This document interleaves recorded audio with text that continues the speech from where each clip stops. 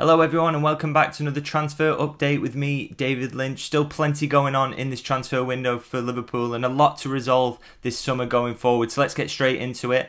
We'll start with the outgoings. Now, obviously, Fabinho is still closing in on that £40 million move to Al Ittihad. I know there's been questions on social media in terms of why is this taking so long or why is the move not finalised yet. But I believe it's just final details being sorted out in terms of the negotiations. There were some reports from Saudi Arabia yesterday that Fabinho was undergoing a medical. Now, that would sort of align with what we're hearing this side in terms of there are no hitches, no problems. It's expected that that deal probably will go through, but it's just final details to sort at the moment, and Fabinho is in the process of doing that. But we do expect him to make that £40 million move to Al Ittihad.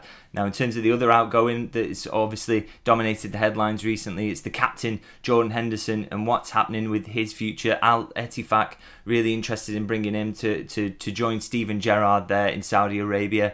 Um, as I understand it at the moment, there's been no real concrete progress with that one. We know and have previously revealed on this channel that Al Ettifaq are keen to, if they could possibly, get away with paying no fee for Jordan Henderson. Now, that's not a goer really as far as Liverpool are concerned. They do want a fee. Um, we'll have to see what that will end up being in terms of the negotiation. But I, I understand that there are some sort of element of talks going on at the moment. It's not completely dead in the water, but we just don't know how this one's going to resolve itself yet. There has to be some form of compromise found, or it looks like the captain be sticking around. He has obviously indicated that he's willing to go, um, but we haven't had that breakthrough yet. So that one really is up in the air at the moment, and no certainty. Not like the Fabinho situation, perhaps. And I'm hearing this from the Al Ettifaq side. Maybe it'll be a situation where Jordan Henderson has to sort of sacrifice some of his salary, maybe to to to put together that fee that would allow him to make the move to Saudi Arabia. But we don't know how that one's going to play out just yet. We'll have to keep an eye on it going forward. Now, obviously if you're losing two players as influential as Henderson and Fabinho, or potentially losing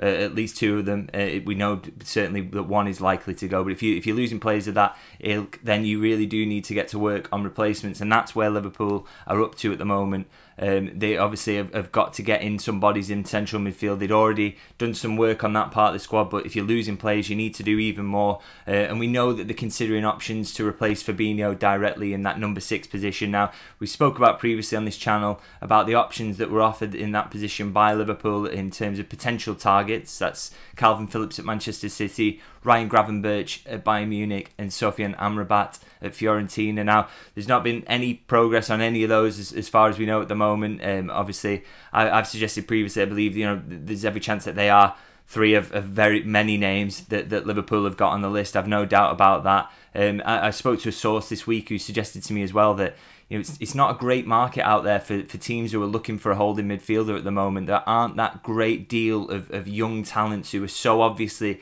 ready to, to kick on to the next level, who would, you know, for example, be a, a, a, a sort of a facsimile of, of what Fabinho was when he came in from Monaco. Obviously, he was in that really good age where he was just about to hit his peak, but he'd proven himself in a, in a top five European league and was ready to take that next step at Anfield. Now, Liverpool are scouring the market, and, and, and you don't get the impression that there's a, a really obvious Fabinho out there right now.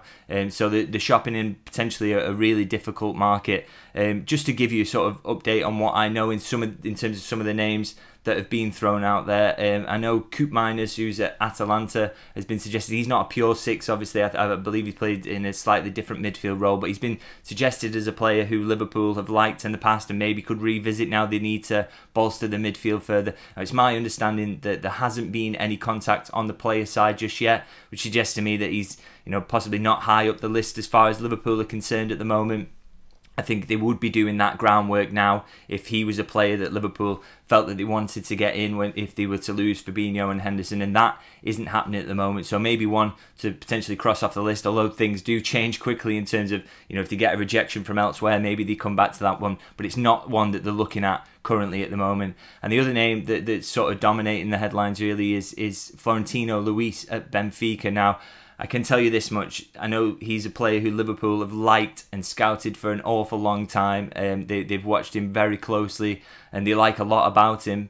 Uh, maybe he is actually the closest you could find to sort of a, a Fabinho type when he joined Liverpool uh, out there in European football at the moment. But it's my understanding at the moment that is not a move that Liverpool are pursuing. As much as they like the player, they appear to be at the moment uh, looking elsewhere. Now, I know in social media I've, I've written that previously for this is Anfield. I know in social media that uh, you know some elements that been cast out on that um, and sort of comparing it to where uh, the the signing of Dominic Szoboszlai was was played down prior to him arriving. But it, um, just to give you a bit of background, really, uh, you know journalists get information in different ways, and um, you know sometimes you can be thrown that smokescreen or, or, or, or interest can be played down when ultimately the club is actually looking into something. But I would say around the Florentino Luis information is that it wasn't necessarily given in that way. I don't get the impression uh, certainly from where I've sourced that information, that that is a, a, case of, of Liverpool trying to hide anything or putting up a smokescreen. Um, again, you know, I would always caveat with that, that things can change very quickly in the transfer market,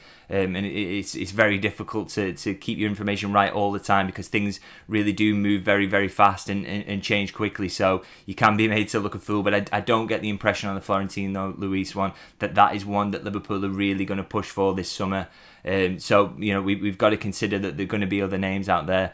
Uh, another one we're hearing at the moment, obviously, is uh, Crystal Palace Cheick Doucouré.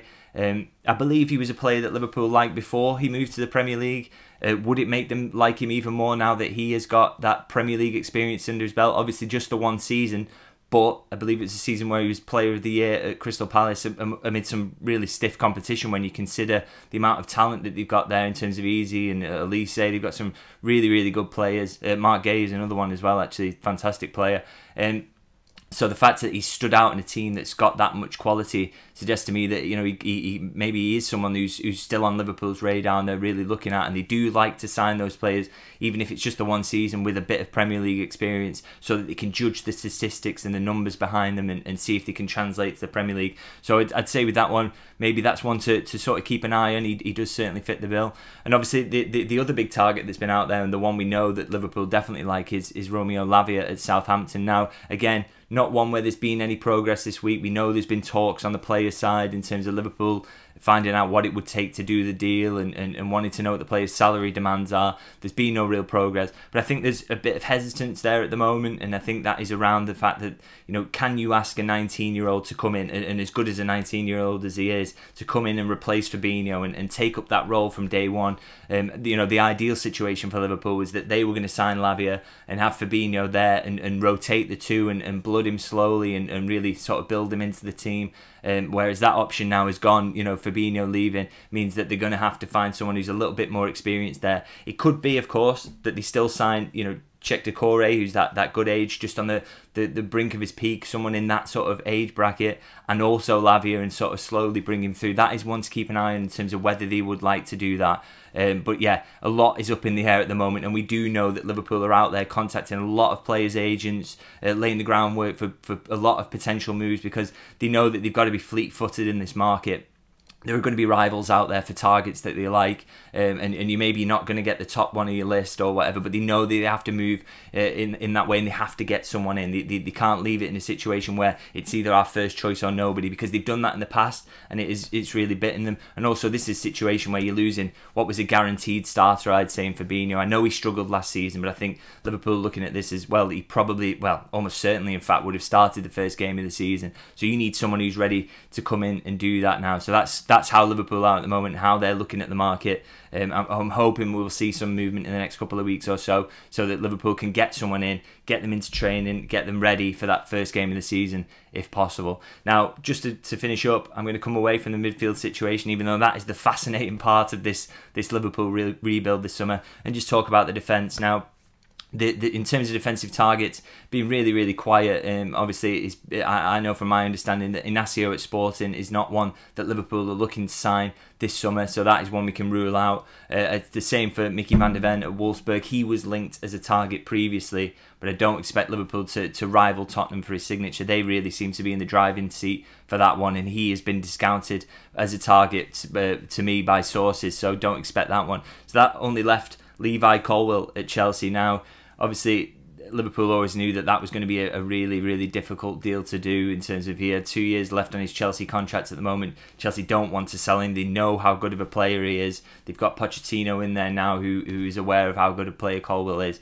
But you know there was still always that maybe that chance that if he turned down the new contract offer, which is what is, is expected this summer, that maybe maybe he would force through a move to Liverpool. But I would say that that now is looking extremely unlikely as things stand. Wesley Fofana has just suffered an ACL injury, which obviously has, has decimated Liverpool, uh, Chelsea. Sorry, Chelsea's options in, in central defence, um, and and probably gives a little bit more of a path actually into the team for Colwill as a, as a, to to start the season in there at centre half. So and, and, and Chelsea are going to have to go into the market for another centre back. They probably don't want to be losing Colwill at this stage this stage of the uh, the pre-season preparations. So I'd say that really is a bit of a blow to Liverpool's hopes of landing Colwill. We'll have to see if alternatives come up because I still think that defence is an area that Liverpool need to strengthen, but that is one to keep an eye on going forward. Maybe we'll we'll now start to see some alternative names pop up because, as I say, I think Colwill is looking very very unlikely at this moment.